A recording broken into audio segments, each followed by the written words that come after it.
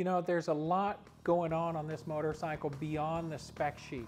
So if you look at the spec sheet, the handlebar, foot peg, and seat relationship, the rider triangle, is the same as 2018. But what's new for 2019 is the rider seat is a little bit shorter. It moves you forwards just a little bit more and improves your contact with the bike.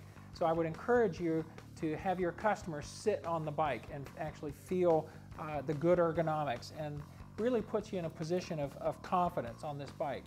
They'll also notice the new meter. So we have an entirely new instrument meter. Of course, the analog tachometer is front and center because that's what you're going to look at when you're sport riding.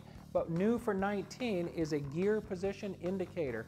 Very handy feature, tells you what gear you're in, as well as a bar graph fuel gauge so you can easily see your fuel gauge and a bar graph coolant temperature so you can keep tabs on how your uh, engine coolant uh, temperature range is using a bar graph.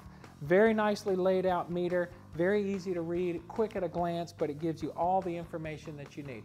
We've always had the adjustable front brake lever. For 2019, we've added an adjustable clutch lever, so you can set the distance from the handlebar on both the front brake and the clutch. So encourage your customers to sit on the bike and power it up for them so they can see some of the features on this new 2019 model.